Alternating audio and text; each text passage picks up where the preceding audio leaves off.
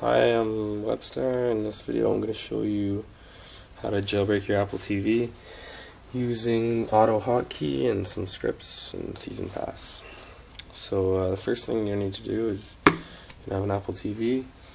Um, you're going to need Season Pass. So the first thing you need to do is download Season Pass from this website. I have the link at the bottom. You want Mac or Windows in this in my case it's Windows. So download to, download that to somewhere. I already have it downloaded so once you have it downloaded extract it you're gonna see this file right here season pass. Double click that file. You get this menu up here. You're gonna click create IPSW what you're gonna do is you're gonna wait for that to finish Alright, so you can see that it's done now. It says waiting for device to enter DFU mode. so what you're going to do now is um, you can take the Apple TV out of the box. I'm going to do that right now. So, make brand new Apple TV here.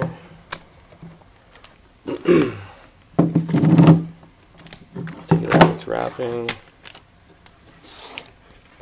So here's the Apple TV. I don't know if you can see that, but there you go. We'll take the plastic tape off of it. Now take the Apple TV. I don't know if you can see it, but there it is. So you need a micro USB cable, which is same cable that plugs into a lot of Blackberries and uh, I don't know if you can see it's Blackberries and a lot of phones, Samsung Galaxy and stuff.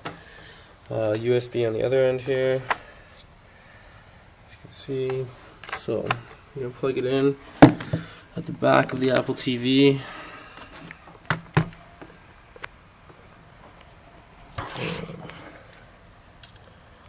So, once you plug it in, should see a little light on the front of the Apple TV. You can see it there. If you don't see that light, uh, what happens sometimes is it just needs a bit of power. So if you just take the power cord out from inside the box, um, plug it in, uh, but just make sure you take the power cord out after it prompts you to restore. So you'll see what I mean in a second. So now we're going to hold um, the, these two buttons and point, it, point the remote at the Apple TV for about 7 seconds. One, two, three, four, five, six, seven It's gonna do some stuff. It's gonna say that it found it on here.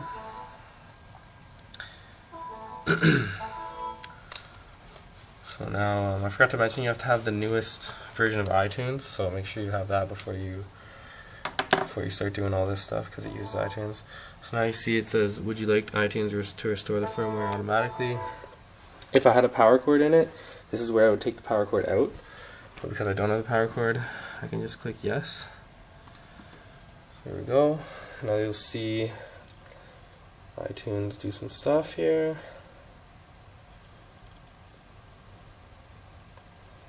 Eventually it'll open up.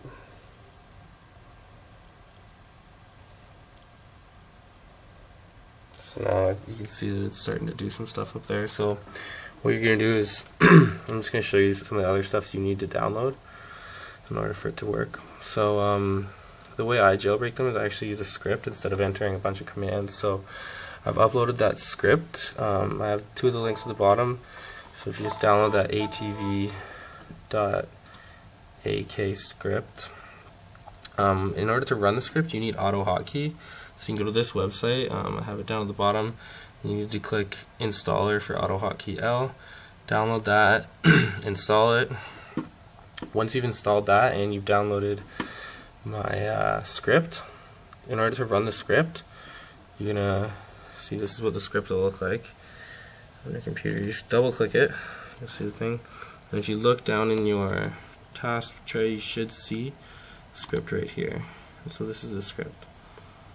So now um, we're just gonna wait for this to finish, and then I'll show you how to install XBMC and a whole bunch of plugins on your Apple TV.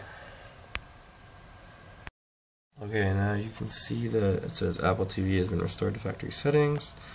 So, Now, uh, if you get an error here instead of this message, probably means that you left the power cord plugged in. Make sure that you let's put this down here so you can see it. Um, make sure that you unplug the power cord before you restore it with iTunes. So once you've done this, you can just click OK. You can disconnect disconnect the Apple TV and go and take it over and plug it into the TV. So I'm going to plug in, in my case, I'm going to plug in the network cord. The, the power cord, sorry about that. And HDMI.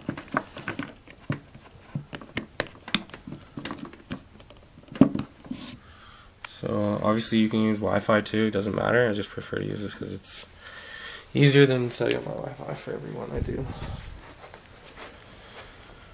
Um, so now you need to make sure that you have WinSCP downloaded and PuTTY and AutoHotkey, auto hotkey that I mentioned before. So WinSCP, the link is down below in the info, but you want installation package sponsored click that install it. You should get a little icon like that in your start menu or down there. PuTTY same thing you're going to download putty.exe put that somewhere where you can uh, access it like your desktop or something there's the Apple TV going in the background so we're just going to select English it's going to connect quickly says authenticating, you're going to know thanks or okay, doesn't matter.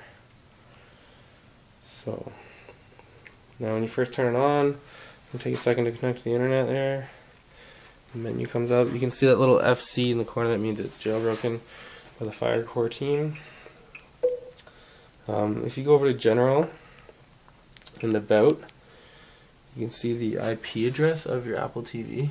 Um, I should mention that if you don't have it plugged into the internet, um, you're going to have to go to um, in settings, general, network, configure. See, if you I didn't have the cord plugged in, it would say configure Wi-Fi there. You're gonna click configure Wi-Fi, go in, select your network, enter your password. Once you've done that, you can go to about or on the network page you can see it there as well. You want to take down that IP address there, 192.168.1.146 in this case. Then we're going to go back over to the computer. And now, here's where it gets fun. So what you're going to do is first you're going to run PuTTY. So if you've downloaded PuTTY, for me I've put it down in my start menu. It's the little lightning bolts. you get this screen PuTTY configuration going to enter in that IP address that you found, 192.168.1.146. And then you're going to click Open. Might take a little couple minutes here. Then it's going to load up. While you're doing this, make sure that you have this script that I made open. Whatever focuses. Anyways, um, so you get a little warning menu up. Just click yes. That's going to say login as. You can click. You can type in root as the username, and Alpine is the default password. Now you see Apple TV root up there. If you go down here, make sure that you have the script open. Can't really see it, but it's up in the corner there. now, once that you have that script open, the first step to um, update the sources on the Apple TV is you're going to push the Windows key and 1. Push those both. As you can see, it starts typing stuff. So it's going to type a few things here. the last command that it types will be you can also type these commands manually, but um, I decided to use a script. Um, if you open up a script in like Notepad or something, you can see uh, the different commands that you would have to type. Um, apt-get update is the last um, last command for that hotkey. So this, this might take like five or ten minutes. So we're just gonna let it go here.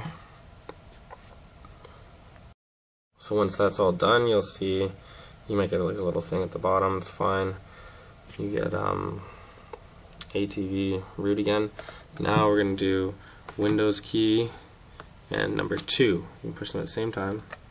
Windows key number two. You'll see it starts doing stuff. This is to install XBMC on it. It's gonna run. You don't have to click anything or hit any buttons. So as you can see down in the corner there, it's gonna take about a minute 51 for this for me, for my internet in particular. So so this is almost done now. Once it's done, you'll actually see the Apple TV reset. So I'm just gonna go show you. so you'll see the screen turn off and on whenever it's done here. There you go. And when it comes back up, you'll notice that the uh, FireCore symbol's gone on the bottom right there, and now it's uh, an Apple TV symbol. You'll also notice a new menu item, XBMC there. So now I'm going to show you how to install nitoTV real quick, because um, it's sort of useful. So if you hit Windows key 3, as in the third step, Windows key 3. You can see it's going to do some stuff here. It's pretty easy.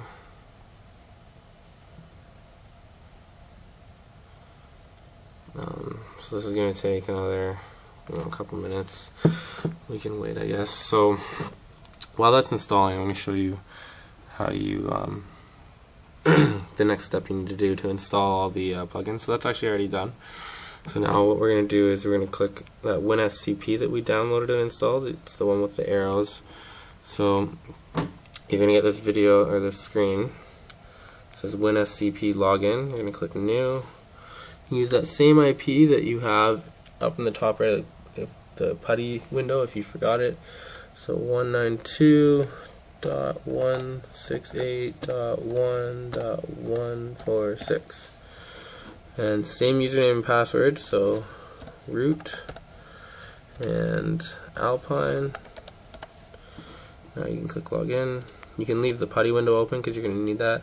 Make it this little window doesn't matter just click update. So now you'll see this is your computer on the left hand side and the Apple TV on the right hand side. What you can do now is you're going to go up one parent directory. Now mobile library, and preferences. Once you're there, if you look on the left side of your screen, hopefully you downloaded um, that folder that I gave you. So if you download the zip file, downloaded the zip folder, and then extracted it, you should have a folder called XBMC. Make sure you leave that as the title of it. Now you're gonna all you're gonna do is drag this over here to the right. You're gonna click make sure it says private var mobile library preferences slash start star copy. This is going to take about you know depending on your internet two minutes or whatever. Um, so what this does is it actually installs um, it restores a backup of my version of XBMC and that basically installs all the plugins that you might want like Icefilms and um, Project Free TV one Chan, uh, Canada on Demand, Sports Devil, you know, a whole bunch of plugins that you would want to use on the Apple TV. So I'm just going to cancel this while we wait for this to finish. So now that that's all done, you can see um, XBMC on the right side. It's in the folder here. Once you've done that, there's one last thing you need to do to restore the file, the backup properly. So back in PuTTY, make sure you still have that script open. You're going to push Windows key and X, as in XBMC. Click that. It's going to run one quick command. Once that's done, you can type kill all Apple TV with capital A and capital V. That'll do a quick reset on your Apple TV. As you can see on my screen over here, it's reset. And now that you've done that, it's actually, that's everything you need to do. So you can go over to XBMC, click that, and you can check out my other videos for how to use some of the plugins. But basically you're going to go, once you're on, when you turn it on, you should be on the video menu. If you go down to files, and then over on your remote, the Apple TV remote, click add-ons. You're going to see a list of a whole bunch of add-ons. So One Chan, Canada On Demand, College Humor, Free Cable, Icefilms, uh, Project Free TV, Sports Devil, etc., etc. So if you wanted to watch um, something from Icefilms, just going to click it.